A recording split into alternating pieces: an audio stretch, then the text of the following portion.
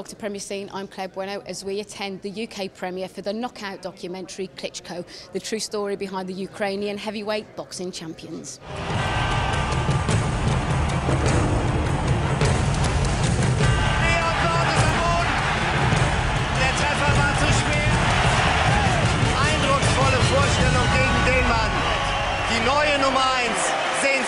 It is a story but it's a universal story. It's on for Universal Picture and a Universal story. It's about two brothers, and the younger one has to grow up. It's basically a coming of age story or maturation plot.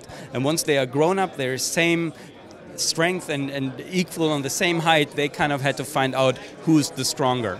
And this is for us the internal story of Cain and Abel, where two brothers have to find out who's stronger.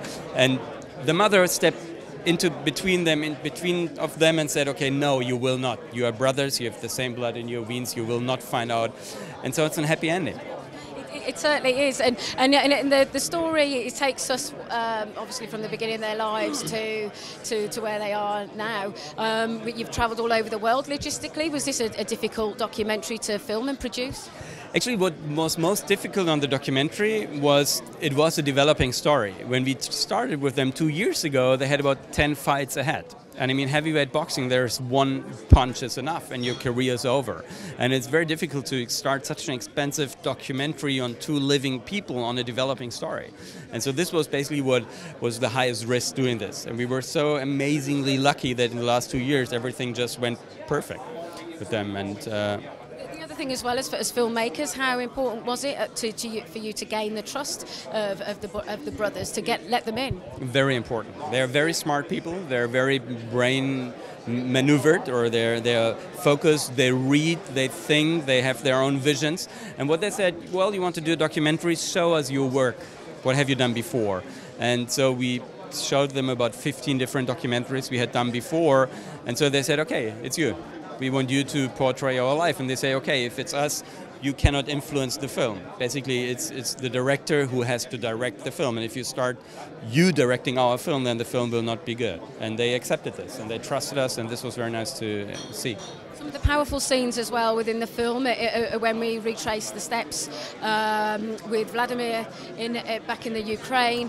Um, how was that for you as filmmakers, being a part of that and seeing how that's affected Amazing. them? Absolutely amazing. I mean, this was such a homecoming for them, and it also was so nice for us to be part of this and see to these two sons of the city of Kiev, of this great nation of Ukraine, coming back and such be such incredible representatives of their country across across the globe, and also never forget their roots.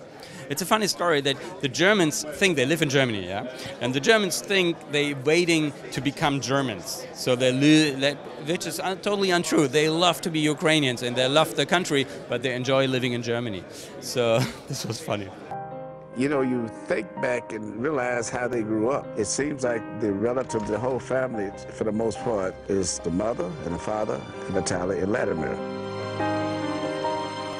the bond and the love between these two brothers. Was that something that was very high on your uh, priority? Yes, from the very first time, first place. Uh, uh, this was my idea to make make a film about brothers and the relationship, and and I expected that there must be some rivalry between them and, and all the things we do not know. And this was my my, my goal, of course, to uh, to to dig deep, yes, and and and to to yeah to get an inside look. And and uh, yeah, but they we shot for two years and um, after the first shootings, they forgot about the camera. We became part of the crew, and so uh, uh, um, we became friend, friends in a way also. So it was not not it was not difficult for me to uh, to, to, to get really deep.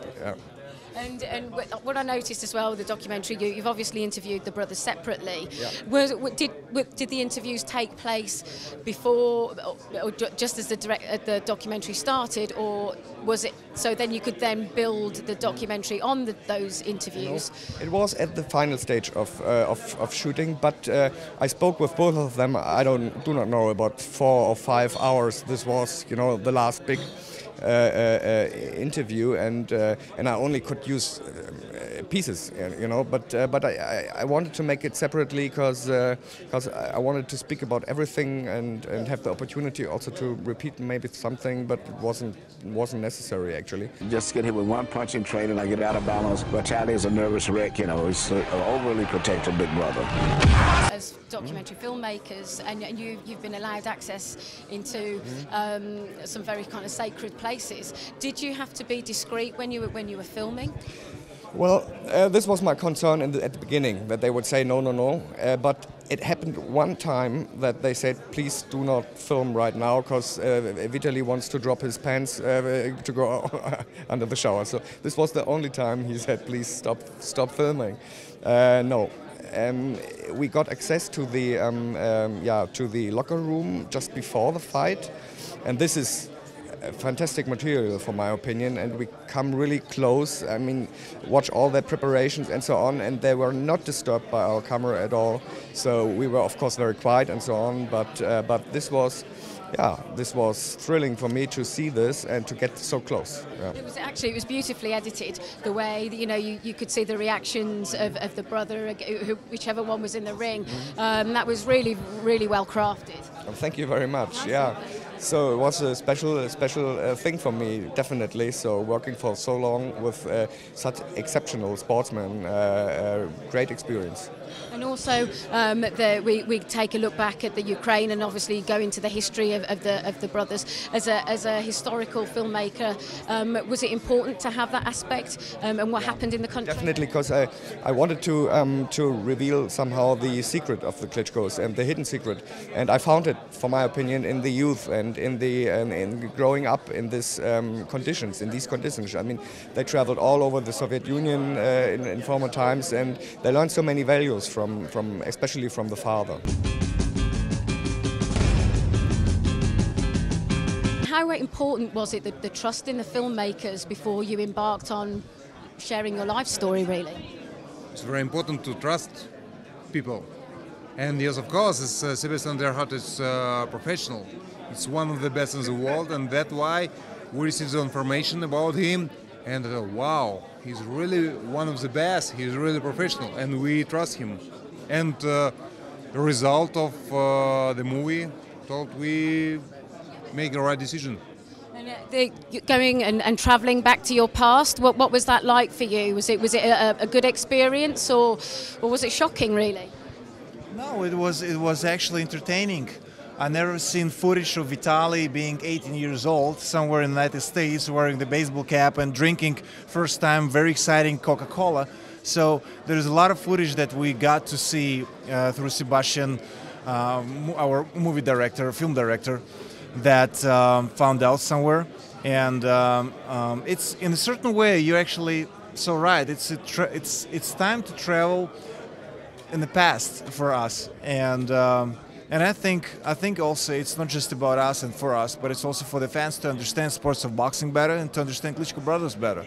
It's not about Klitschko brothers, about two boys which have a dream and make a dream true. And uh, if we have a chance to change the name of movie, this will be new name. Nothing is impossible that's so true. And one of the, the um, one of the lines I believe it's yourself that says is that boxing is is uh, brutal and dangerous. So what compels you to want to get back into the ring and compete time after time? Well, it's it's it's not uh, you know uh, it's for fun because beat up people for living for 22 years has to be fun, right? Otherwise, I won't do it or Vitali.